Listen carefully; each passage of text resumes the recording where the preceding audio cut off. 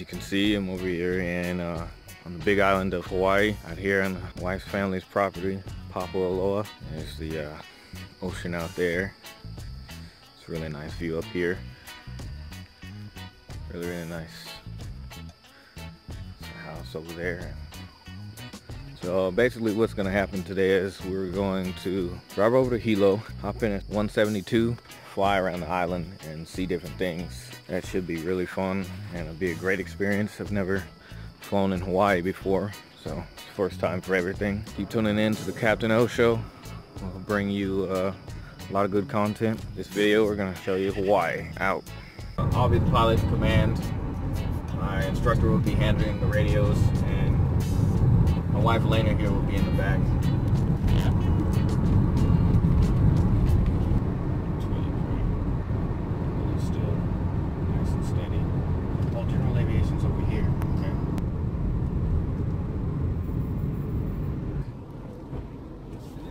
Volcano, and then you got the volcano right there. And that's where we're going.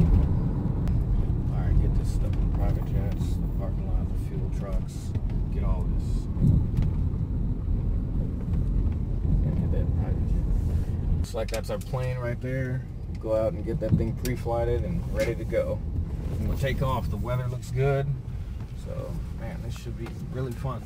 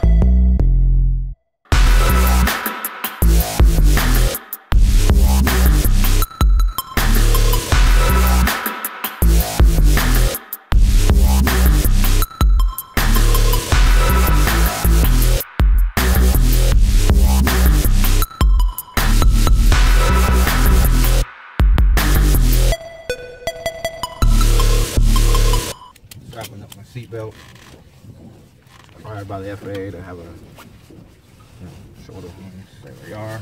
As long as I can hit that fuel tank button, I'm good. Here's our trim. Need to loosen these up a little bit actually. I can touch it. Trim device. Might be a wild ride, so these are life vests right here. Usually the best place to put down in the islands is in the water, so we have to uh, make an emergency landing in the water. We'll just exit the airplane, pull this to inflate. My wife will throw the, the raft out to inflate it if you climb it yourself. And back up here. So a little bit different setup. This is uh, Cessna 1537 Yankee. Here we've got the airspeed, we've got miles per hour. So VX is best angle of climb, 65 knots. And VY, best rate of climb is 80, excuse me, miles per hour. Best glide is uh, 75 miles per hour. Here's our attitude indicator. Here's our altimeter. Here's our uh, HSI, vertical speed indicator, turn coordinator, clock. All right. Uh, nav 2 VOR, nav 1 VOR, OBS dial. There's our radios, com 1, com 2. Throttles right here, ignition switch, uh, carb heat. Do you need a knee board? Uh, I got one in the back, yeah. Do you, I don't think I need it. Okay. Yeah. Uh, mixture. Here's our transponder right here. Avionics. Once we turn that on, we'll put the headset on we'll be able to hear anything, everything. Here's our lights. Um, our cabin heat, cabin air, suction gauge, fuel uh, quantity gauge, oil pressure, oil temperature, another fuel for the right side, and our tachometer that will read uh, when we are get off the brakes here.